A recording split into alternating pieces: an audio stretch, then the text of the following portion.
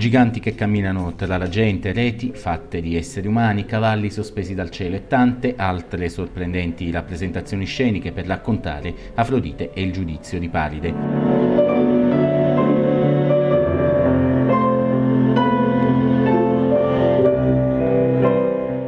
Alla mostra d'oltremare di Napoli, nell'ambito degli spettacoli che animano la Kermesse del Napoli Teatro Festival Italia 2015, la Fura dels Baus, eclettica compagnia catalana che da sempre unisce teatro, circo, musica, danza, video ed effetti multimediali.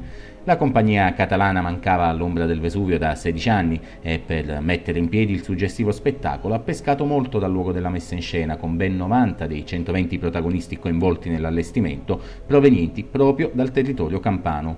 Una scelta dettata dalla filosofia della compagnia stessa che in questo modo vuole rivitalizzare il tessuto artistico della città che li ospita, o meglio a non sottovalutarne lo spessore. Il risultato è eccellente, con tantissimi spettatori estasiati a testa in su. Un macro spettacolo che utilizza grandi elementi scenografici e un disegno luci di fortissimo impatto, col quale ha coinvolto tutto lo spazio centrale della mostra d'Oltremare con i suoi edifici. Al centro la mitologia, il giudizio di Paride che fa scaturire prima la guerra fra tre dee e poi quella fra greci e troiani, a cui viene restituito con luci e colori la sua epicità.